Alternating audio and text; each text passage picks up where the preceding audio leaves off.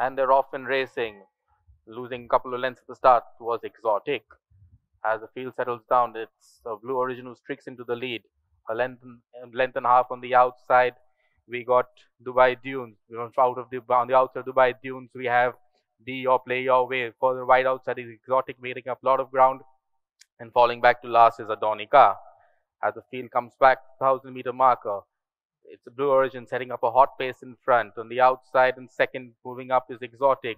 Just behind them in box seat is Dubai Dunes. Being pushed is on in fourth is the Your Play Your Way. And Adornica sits last of five. As the field comes past the 800 meter marker, it's still Blue Origin in front. Second, we got Exotic.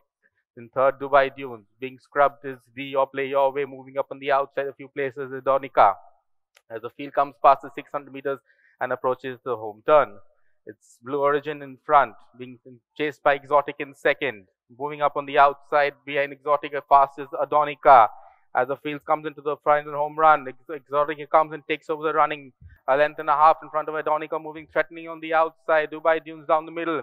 It's Adornica who comes and takes over the running on the outside from Exotic in second. It's Adornica from Exotic. Adornica from Exotic. Adornica from Exotic from the outside. We have D your play your way flying on the outside.